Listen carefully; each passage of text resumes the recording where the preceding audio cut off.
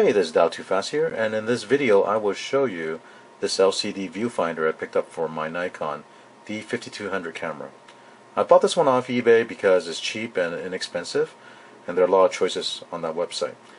If you are to search using the keywords LCD viewfinder D5200, you'll find some that are priced around $20, $30. What I found out is that there's another one that is selling for a lot cheaper and that's the one you're looking at here.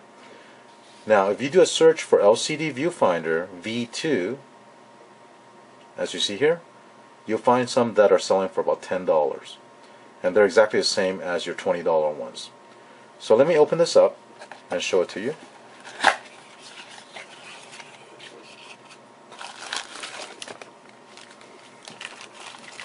It comes in two pieces.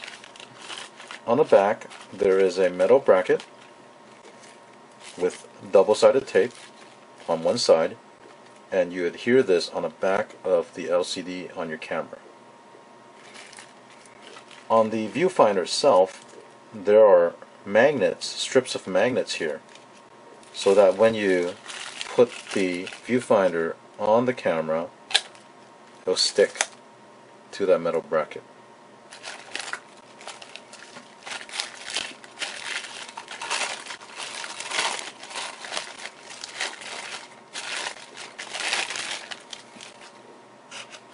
Now the viewfinder itself is made of plastic. The eyepiece is silicone rubber. As you can see also it says LCD version 2 or V2. Here you have a 2.8 times magnification glass lens and the reason some people like using this is if you do any type of video recording outdoor on a sunny day, it's very difficult to see the LCD screen. And if you want to do any type of manual focusing, it is best to have some sort of shield like this to block the ambient light. So you can see through the viewfinder, look at the LCD screen that's magnified, and manually focus on the subject as you're recording the video. And because it's magnetic, if you don't need this, you can just basically take this off and use the LCD screen like you normally do. So let me show you how to install this on a camera. So what I've done here is turn on the live view on the LCD and that'll warm up the LCD screen a little bit. And after it warms up for a few minutes, then on the metal bracket, you flip it onto the other side and you see the double-sided tape. Go ahead and get a knife and remove the backing.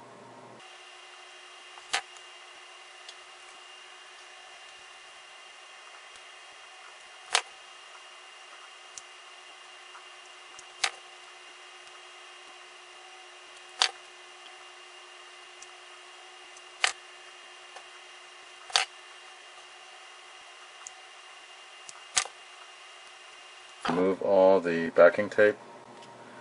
And the way I'm going to install this is there is one corner that has a little tab that sticks out. I'm going to put this towards the bottom right hand side.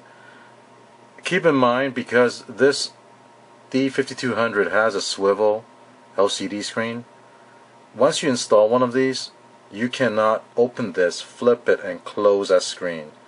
You know how you can flip this around so that the LCD screen is uh, hidden? Uh, with this bracket, it'll get in the way, and you cannot do that anymore. I mean, you can still swing it out and use it, but you won't be able to close the LCD screen. So keep that in mind, okay? So let me carefully place this on.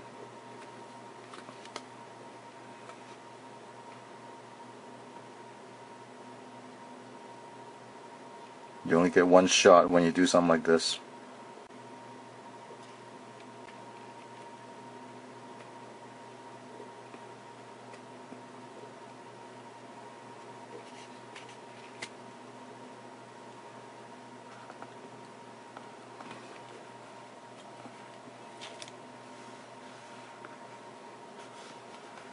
Give it even pressure around the sides so that you know it's adhered properly.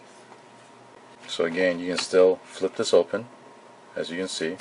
Now typically what I recommend is that with any double-sided tape is to let it rest for a good hour or so, so the bonding will um, adhere properly. But just for um, the purpose of showing you this, so here is the uh, LCD viewfinder.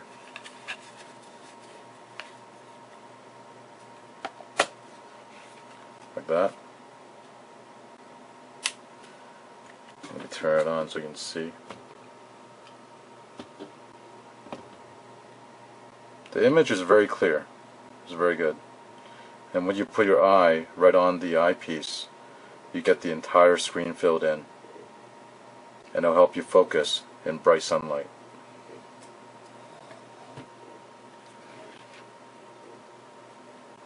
So there you go. That's how you install a LCD viewfinder on your Nikon D5200. If you have any questions, uh, leave me comments. If you like the uh, video, please subscribe. Thank you.